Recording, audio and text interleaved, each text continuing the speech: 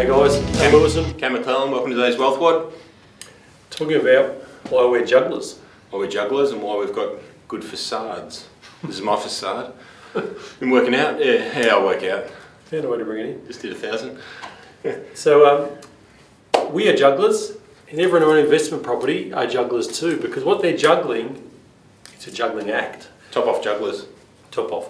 So what we're talking about, guys, is when you've got an investment property, lots of decisions to make. So you need to decide for yourself, how do you have a house that's appealing to tenants, gets valuations, uh, is robust, durable, all those things, but at the same time, cost effective and money spent where it should be spent rather than wasted on either overdoing your facade, overdoing your gardens, overdoing your specifications. So lowering repairs and maintenance and giving you a higher, which means gives you a higher rental return, meaning a lower loss cost to hold.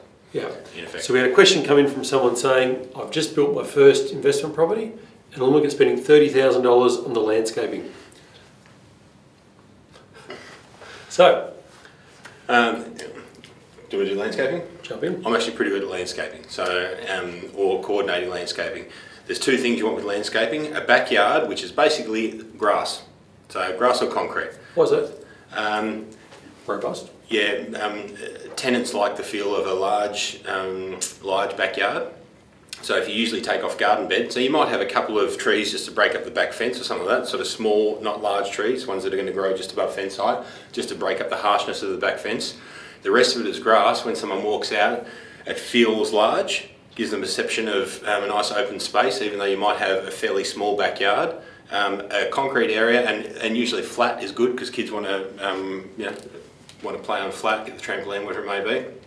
Um, avoid anything, any stone or dust type material like Lilydale toppings and that sort of thing are terrible because that gets dragged through your house. Um, front facade, there's two things you need to worry about front facade. You want to minimise cost but maximise um, valuation appeal. So what- Aesthetics. aesthetics. So hence you want to look as good as you can even though underneath might not be as tr- attractive. It is though. uh, so at the front, is you look at um, colour, colour concrete driveway, um, the facade of the house, are like three different materials minimally across it, so it's not just one brick box. So you want to have, you might have a bit of timber, a bit of stone, a bit of render, uh, a bit of woodwork. Did I say timber and woodwork? Maybe. Twice. Yeah. Um, garden wise, getting back to that, um, garden, a couple of established plants and then a number of um, smaller plants which will become more established so it Yep. doesn't feel like you've got every, your whole garden's brand new that big. Now, this can be done quite cheaply, so you might have uh, tan bark over the gardens, two established plants, and lots of smaller ones that'll grow. Um, and then you might have some larger stone, which is not going to get dragged through your house for, or for some basic paving. So the cost can be quite low, but give you a good appeal when the valuer comes past. I'll add to that as well, guys, and I encourage you to do it. Go for a drive around an area. You'll pick the houses that are the rental properties. The gardens aren't maintained, they look horrible. So when you're designing your landscaping, front garden particularly, as Yeah. Cam said, need some nice trees, need a bit of a layout, can't all be grass. Have a think about or talk to people about what will be the hardest wearing and the least maintenance because tenants aren't well known for their regard for maintaining your property as nicely as possible. Backyard's an easy one. If your grass is growing too high, you can cut it, as Cam said, Yeah. mainly grass and concrete. But if you've got plants, trees, weeds overgrowing the whole area, well, very different.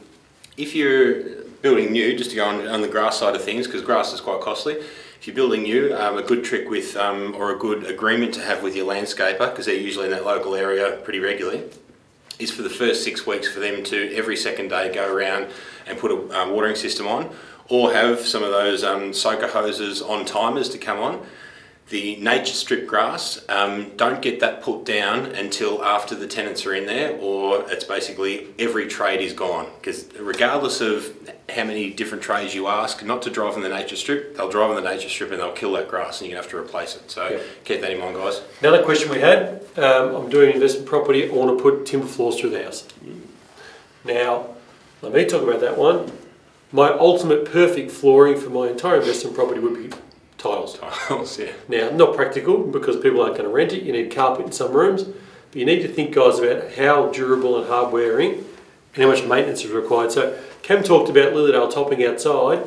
Imagine you've got nice new timber floors, tenant moves in day one, gets the stone caught in the tread of their shoes, and scratches the bejesus out of your floors.